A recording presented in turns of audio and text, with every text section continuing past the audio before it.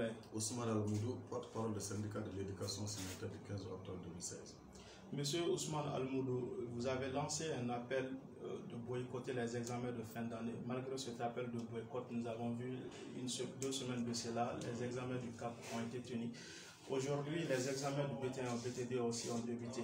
Qu'est-ce que vous pouvez dire de votre appel de boycott? D'abord, je voudrais préciser que nous avons déposé un préavis de grève de 12 jours qui commence aujourd'hui. C'est le plus important pour nous. Le boycott des examens, pour nous, c'est de dire à nos camarades, à nos collègues enseignants du public de ne pas participer aux examens de fin.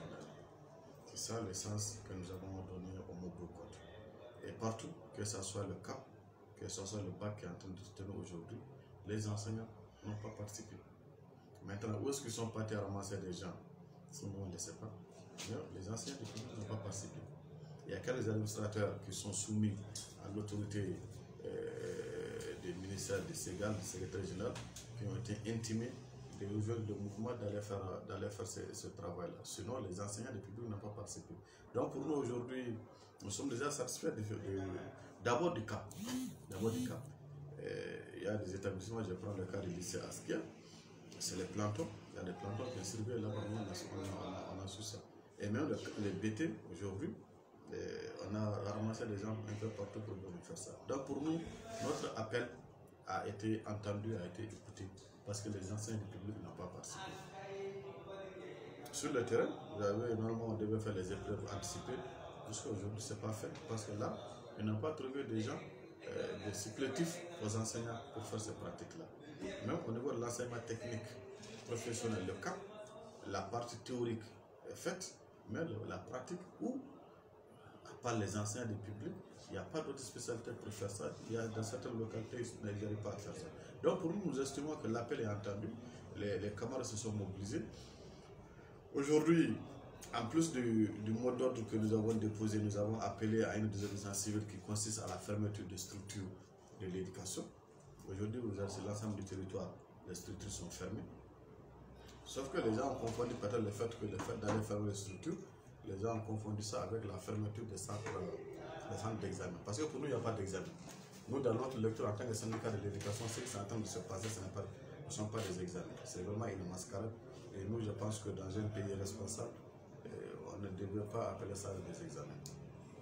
Monsieur le secrétaire général, par ailleurs, euh, lorsque vous avez appelé à une mobilisation de fermer les structures de, de, de l'enseignement sur le territoire national, il y a eu des échauffourées par-ci, par-là. Qu'est-ce que vous pouvez dire de cela? Le bilan. Bon, en fait, aujourd'hui, on peut, comme vous on ne peut pas tirer le bilan tout de suite. Mais c'est que sur ce que, quand vous regardez la lettre du syndicat de l'éducation, nous avons mentionné comment est-ce qu'il faut aller à cette fermeture-là. D'abord, nous avons dit à nos camarades de se présenter avec la lettre des syndicats de l'éducation au chef de la structure pour lui demander lui-même de fermer sa structure. Ensuite, nous avons dit à nos camarades de ne pas céder à la provocation, fait, de ne pas répondre à la provocation. Et malheureusement, aujourd'hui, sur le terrain, là où il y a eu des affrontements, les camarades se sont présentés les menus. C'est les forces de l'ordre qui ont commencé à utiliser le gaz lacrymogène contre nos collègues. Et ont procédé à des arrestations. je me signale d'abord, pour le moment, on ne peut pas tirer un bilan définitif. On sait qu'il y a des arrestations à Nyoro, des camarades ont été arrêtés. À Sigasso, des camarades ont été arrêtés. Et à 100, sept collègues ont été arrêtés, mais ils ont été libérés dans la journée. Et je, précise que à Europe, par exemple, les enseignants qui ont été arrêtés n'ont pas été sur le terrain. Ils ont été appelés par le commissaire avec lequel ils ont des échanges et ce dernier leur a demandé ensemble de se retrouver à la préfecture. Ils, sont ils ont été arrêtés au niveau de la préfecture. Donc, nous nous sommes dit que, en fait, nous sommes renforcés dans notre position que le gouvernement qui est là, c'est un gouvernement d'abord qui est arrivé à la suite de ce à, la suite d'un acte pareil. Parce qu'eux aussi ont procédé, ils ont passé par la désobéissance civile pour arriver au pouvoir. Donc il ne faut, pas qu'il l'oublie. pas qu'il. Mais ce gouvernement est en train de faire euh, en sorte de, de, de, duper le peuple malien. Faire semblant comme si des examens sont en train d'être faits. Son arrêté, ce qui en train d'être euh, fait dans les salles, dans les salles aujourd'hui, ce ne sont, pas ce sont pas des examens.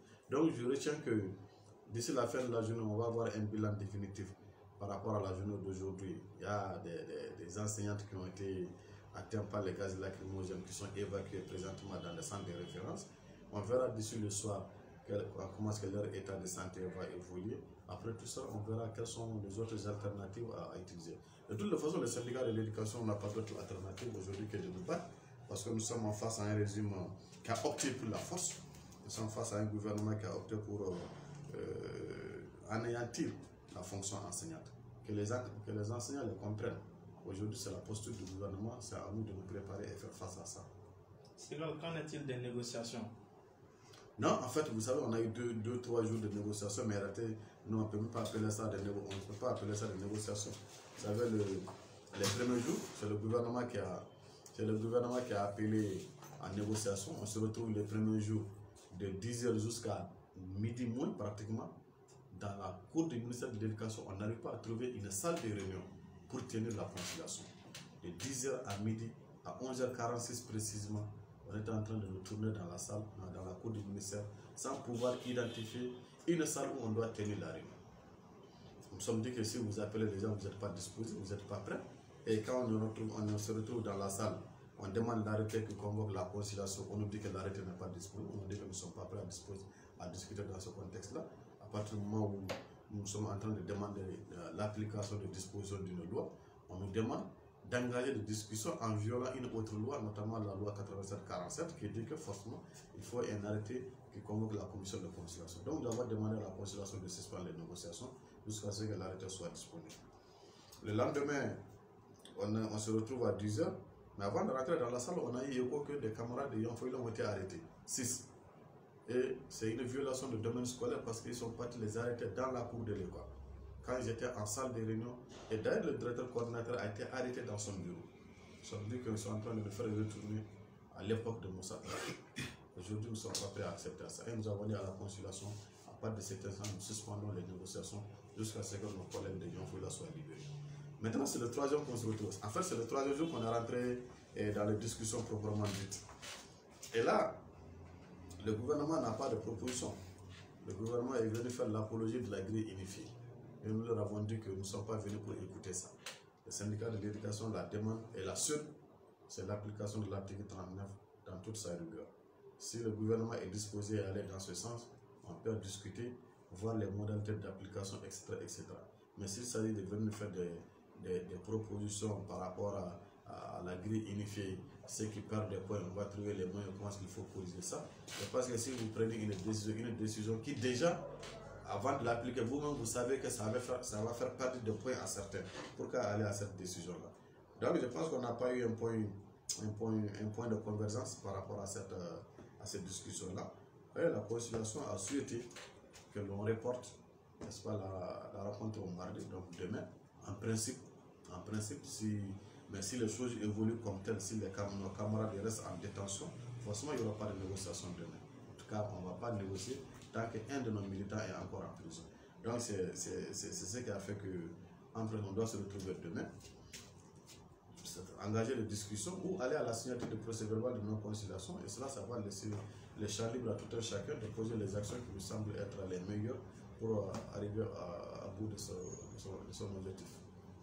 Quels sont les différents centres où on lit les issues Bon, en fait, je disais que comme le centre du bac, là, c'est pas aussi.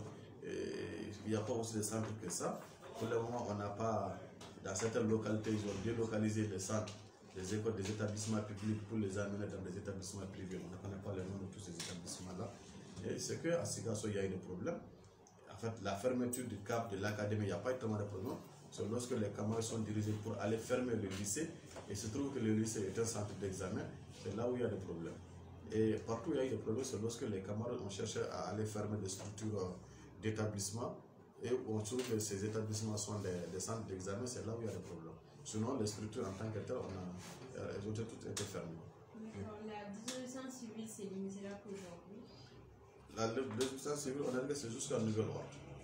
Donc ça, ça a commencé aujourd'hui on va l'évaluer au fur et à mesure. Et déjà, il y a des, euh, discussions avec des associations, des parents d'élèves qui sont en train d'échanger avec nous, qui nous demandent d'aller à une suspension de cette mesure. Mais on va faire l'évaluation.